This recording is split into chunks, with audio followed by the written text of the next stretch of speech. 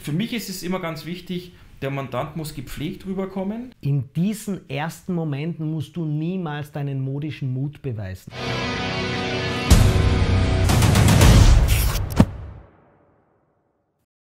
Hallo Leute, grüß euch. Ähm, ja, es ist wieder Adam Ahmed, ähm, prominenter Strafverteidiger, Stefan Werrer, ihr kennt mich.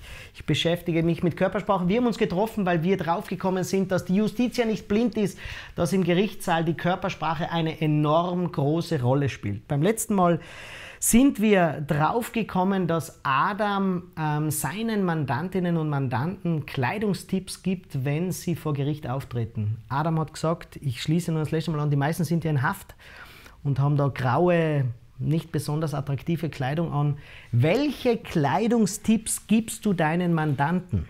Also, um daran anzuknüpfen, ich sagte Ihnen natürlich, dass Sie nicht mit der in, in, dieser Kleidung kommen sollen. Und dem schließt sich dann oft an, ja, mit was soll ich denn kommen? Soll ich einen Anzug anziehen? Also, wenn es jetzt natürlich die, die Männer sind, die ich verteidige, dann sage ich immer nein, beziehungsweise mit was fühlen Sie sich denn wohl? In welcher Kleidung fühlen Sie sich denn wohl?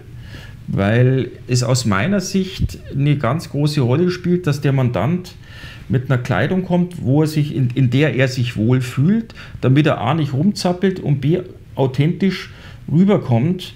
Ähm, da kommt dann zum Beispiel auch, er kann nicht da Turnschuhe anziehen und so weiter.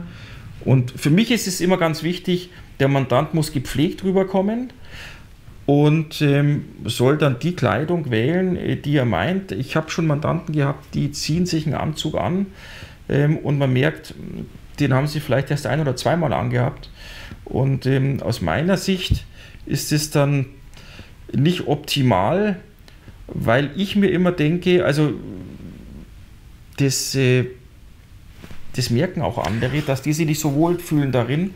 Ähm, aber das ist natürlich dann die Frage an den Körpersprachenexperten. Ähm, wie ist es denn, wenn jemand, wir hatten zwar die, das Thema schon, aber jetzt nicht jetzt im Hinblick auf den Angeklagten, der aus meiner Sicht, und das macht so besonders, der steht ja im Fokus. Es mhm. geht um den Angeklagten im Strafverfahren. Ähm, und dann spielt die Kleidung womöglich auch nochmal eine andere Rolle. Im Alt, in, in, dem Sinne, wie ich es jetzt vorher formuliert habe, Wohlfühlen und so weiter, als jetzt zum Beispiel beim Zeugen. Über das Thema hatten wir ja auch schon gesprochen. Aber wie siehst du das gerade, wenn der Angeklagte natürlich in einem Strafprozess derjenige ist, der der Protagonist schlechthin ist? Also ich werde mich hüten, Tipps zu geben. Ähm, äh, über das werden wir mal sprechen. Ähm, deine Aussage überrascht mich. Also Warum? ich hätte mir jetzt wirklich gedacht, ganz im Ernst, also wir haben es in, in einer Folge haben genau beschrieben, der Adam sagt mir nicht, was er mir erzählen will aus den Gerichtszählen, ja. Ähm, und das finde ich ja spannend. Wir setzen uns daher und ich weiß gar nicht, was auf mich zukommt, aber was ich schon, was mich überrascht hat, ist, dass du sagst, ich gebe ihnen nur vor, dass sie quasi sich wohlfühlen müssen drin. Ja. Was ja beinhalten würde, dass der mit einem Trägerleibel daherkommt, mit Shorts, tätowiert von oben bis unten und Sneaker, weil er endlich, nachdem er zwei Wochen in Untersuchungshaft, Untersuchungshaft war, endlich wieder seine Kleidung anziehen kann. Würdest du das zulassen? Also das würde ich natürlich, wenn er mir das so sagen würde, dass er sich nur so wohlfühlt, ja, oder mit so einem Netz-Shirt-Oberteil, dann würde ich ihm sagen, gut, es geht natürlich jetzt schon auch noch darum, äh, vor dem Gericht einen Respekt gegenüberzubringen durch die Kleidung. Okay. Also es spielt natürlich auch eine Rolle. Aber ich muss aber kurz damit, was fragen. Mhm. Das heißt, ihr redet so konkret, er sagt dir schon, was er anziehen wird. Ich frage dann nach, wie fühlen Sie, in welcher Kleidung fühlen Sie sich ah, okay, denn wohl? Oder okay. aber er sagt von sich aus, bringt er sozusagen Beispiele. Ja. Das, äh, das ergibt sich dann. Aber schon, also Fälle. so konkret, du erlebst keine Überraschung, wie der dann plötzlich daherkommt erlebe ich nicht. Ja, okay. Erlebe ich nicht. Für okay. mich ist dann an sich die größte Überraschung, wenn er dann mit, ich sage jetzt mal einer aus der Haft, mit Anstaltskleidung kommt, habe ich auch schon erlebt, dass ja. er dann sagt, ähm, weil es ja nicht so einfach ist, dann an ja. private Kleidung ranzukommen, das muss er dann ein paar Kontrollen durchlaufen und wenn er dann mit Anstaltskleidung kommt, ist das natürlich ist es natürlich nicht so toll.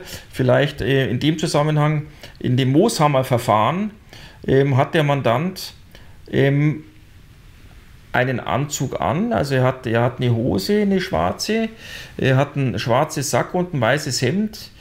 Das ist auch bewusst so mit ihm besprochen worden. Also jetzt nicht mit Krawatte oder sowas, aber ähm, so, dass er sozusagen einerseits sich wohlfühlt, andererseits dem Gericht gegenüber dann so rüberkommt, dass er äh, tatsächlich auch auf sowas Wert legt. Das spielt schon auch eine Rolle aus meiner Sicht. Ähm, dem musste die Kleidung sozusagen übergeben werden, weil er ähm, sonst mit Anstaltskleidung da gekommen okay. wäre und das wäre aus meiner Sicht nicht so toll gewesen. Gerade in dem Prozess, Mooshammer-Prozess, muss ich kurz erklären, mit dem ist der Adam bekannt geworden. Der Mooshammer war ähm, einer der, oder wahrscheinlich der bekannteste deutsche Modeschöpfer neben Karl Lagerfeld in der Zeit. Ich weiß es nicht genau. Bunter Vogel. Bunter Vogel und er hat seinen ähm, Mörder verteidigt. Muss man das so sagen? Kann man sagen, oder? Kann man sagen. Kann man sagen. Wie würdest du sagen? Kann man sagen, weil er ja rechtskräftig als solcher verurteilt worden ist. Ja. Aber er ist halt der Täter gewesen. Täter. Hat okay. er ja auch von vornherein ja, okay. so eingeräumt. Okay, okay. Ähm, aber über das werden wir nochmal reden. Ja. Wir, wir machen dann ein paar Folgen, wo wir ganz konkret um Fälle reden. Wir reden jetzt einmal zuerst drüber, wie wichtig ist es. Ja, also ich, ich, das trifft sich sehr gut mit dem, was ich Leuten einfach mitgebe, ist zuerst, du musst immer abwägen zwischen dem, wie fühlst du dich wohl, ist ganz wichtig, und damit bist du in einer gewissen in einer gewissen Kleidungsstilistik drinnen. Es gibt Leute, die haben Anzüge, Leute, die sind nur mit Sportkleidung und so weiter. Und jetzt ist aber so, innerhalb dieses Wohlfühlbereichs hast du ja eine, einen Stretch-Bereich. Ja? Das heißt, du musst, hast ja nicht immer die gleiche Hose an. Es sind vielleicht lockere Nicht-Anzughosen zum Beispiel. Ja? Ähm, dann gibt es welche, das sind zerrissene Jeans, mit denen fühlst du dich wohl, also im unteren, lockeren Bereich. Und dann gibt es aber Chinos.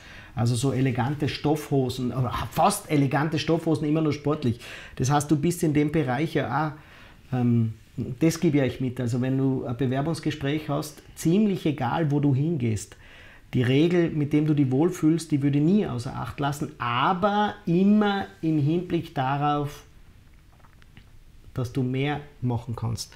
Und dann ist noch ein kleiner Tipp, egal was du tust, ob es eine Prüfung, ein Date oder ein Bewerbungsgespräch ist, in diesen ersten Momenten musst du niemals deinen modischen Mut beweisen. Das ist ganz wichtig. Ja? Wenn du glaubst, das ist jetzt endlich das, wo ich das ausführen kann, das würde ich in dem Fall nicht machen. Ähm, ich glaube, im Gerichtssaal würde man jetzt auch nicht mit dem fancy Schal oder mit dem tollen Hut daherkommen als, als Angeklagter, oder? Oder schon?